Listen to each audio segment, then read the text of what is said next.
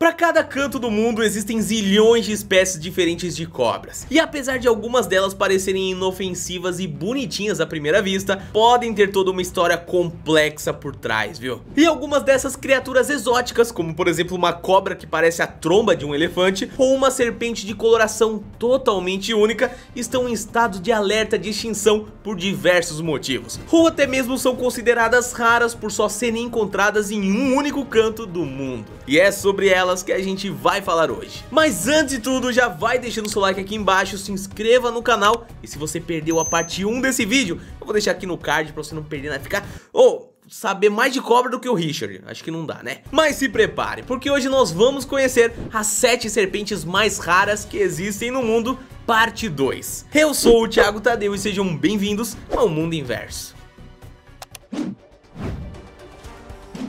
Serpente de Liga de São Francisco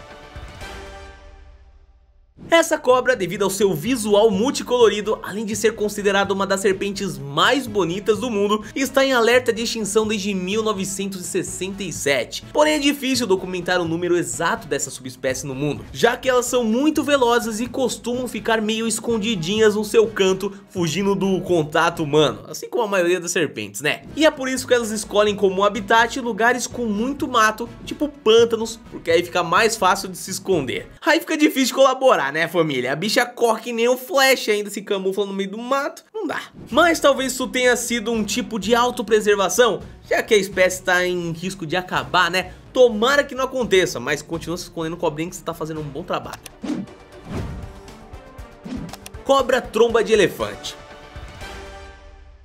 Considerada uma espécie primitiva e uma das cobras mais estranhas do mundo, ganhou esse apelido por causa da sua pele flácida e enrugada, que realmente parece uma tromba de um elefante. Mas seu nome científico é Acrodus javanicus. É mais ou menos assim, mas tá na tela pra você ler também. E ela é encontrada adivinha onde? Bom, quem acompanha os vídeos aqui do canal já deve ter chutado a Austrália, né? E acertou, miserável. E o que contribui para deixar elas mais medonhas ainda é o fato que elas podem alcançar bizarros 2 metros e meio de comprimento. Além de viverem mais em água doce porque o seu corpo escorregadio não se adapta nada bem na terra. Até porque se ela vivesse pra superfície ia ser bem zoada pelas outras cobrinhas, né? Tadinha, hashtag todos contra o bullying, até no mundo das cobras, tá? Jiboia do Ribeira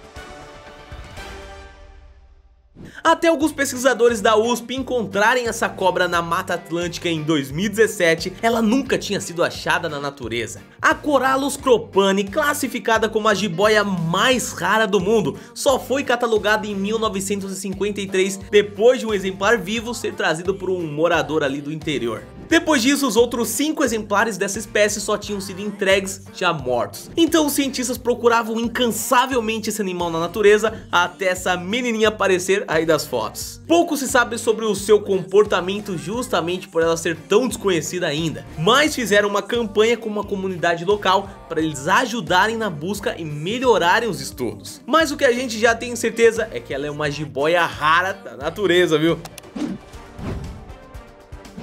Vípera Darevski. Essa é uma espécie de víbora super venenosa que está entrando em extinção porque começaram a tirar as mocinhas do seu habitat natural para domesticar. E aí o número delas na natureza foi se reduzindo drasticamente, chegando hoje a cerca de 500 unidades, distribuídas na sua grande maioria na Armênia e a Turquia, o que já é considerado um super estado de alerta. Ela tem como fonte principal de alimento lagartos e roedores, e passam a maior parte do dia tomando sol em picos montanhosos. Elas são espertas, onde o sol bate, elas estão lá. E isso obviamente ajuda a absorção de uma quantidade boa de calor, que faz com que elas consigam seguir bem o resto do dia. Jiboia da Ilha Redonda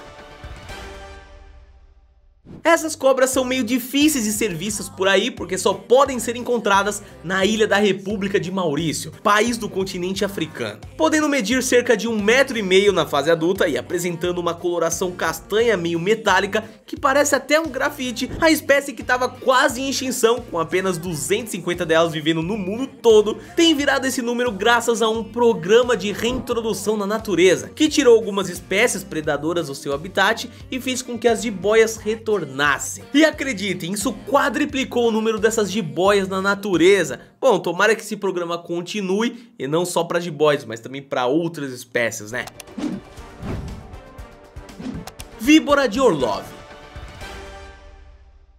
a víbora de Orlov é uma cobra bem venenosa que vive na Rússia. E foi só em 2011 que descobriram que ela era uma espécie diferente do que a víbora caucasiana. Isso porque como elas eram muito parecidas, a galera costumava confundir as outras. Ninguém se ligava, ah, essa aqui é a caucasiana, essa aqui é a Orlov, tanto faz. Então foi só a partir dessa distinção que descobriram quão raras elas eram e quanto suas vidas estavam ameaçadas família. Essas serpentes que possuem grandes presas venenosas dobradas no céu da boca e uma cor meio amarronzada contam com apenas mais ou menos 250 unidades existentes. E esse estado crítico começou principalmente porque muitas pessoas estavam tirando ela do seu habitat natural para domesticar. Vamos entender, o negócio é víbora né? Todo mundo ouviu quando eu falei víbora. Todo mundo também conhece no mundo todo como víbora. Por que você vai domesticar uma víbora, gente? Não tem porquê. Blood Red. As cobras Blood Red são uma variação da espécie de cobra do milho, que carrega um gene recessivo que faz com que o seu corpo seja completamente vermelho. Isso dos pés à cabeça. Não, pera, Cobra não tem pé, né? Elas podem apresentar algumas manchinhas brancas bem leves ainda jovem, mas conforme ela vai envelhecendo, elas vão desaparecendo completamente. E é muito raro ver essas serpentes na natureza, porque além delas só existirem no sudoeste dos Estados Unidos, elas só costumam ser criadas em cativeiro por pessoas que curtem uns animais exóticos. E claro, essa galera tem que achar uma boa ideia levar um rato vivo até a gaiola dela uma vez por semana, né? Já que esse é o único alimento que essa cobra come. Então é isso família, essa foi a parte 2 das 7 serpentes mais raras que existem no mundo. Se você gostou e quer a parte 3 desse vídeo, comenta aqui embaixo hashtag parte 3. Não esquece também de avaliar o vídeo e de me seguir lá no Instagram, tem bastante coisa diferente pra vocês lá também. Agito encontro marcado aqui nesse canal, nesse mesmo horário, amanhã, mas com uma curiosidade totalmente diferente. Te espero amanhã, hein? Um abraço e até a próxima.